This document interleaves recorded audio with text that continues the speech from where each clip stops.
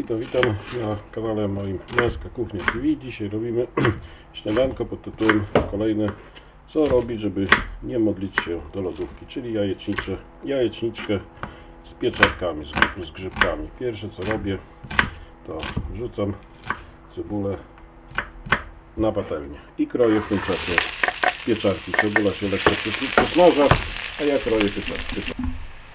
Dobra, cebulka się przysmażyła, jak widać jest taka lekko złota i na to wrzucam pieczarki. Też trzeba je usmażyć, ale jeszcze trzeba szczyptę soli i ja lubię też z naturalnym pieprzem. No, teraz trzeba je po prostu usmażyć. Dobra, pieczareczki się ładnie usmażyły i teraz po prostu wbijam na to wszystko jajko. Jedno, dwa, tyle ile lubisz, cztery, to już kwestia własnych upodobań. No i teraz lekko solę. Najpierw mieszam samo białko i ruszając żółtka. Tak, żeby się białko ścięło, a żółtko było takie jeszcze nieścięte.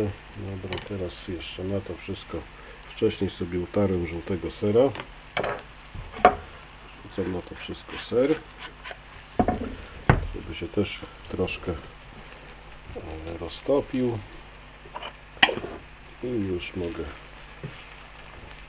rozbełtać żółtko i właściwie jajecznica jest gotowa. Wcześniej sobie zrobiłem sałatkę z pomidorów, jakichś liści zielonych, miksu zielonych liści o.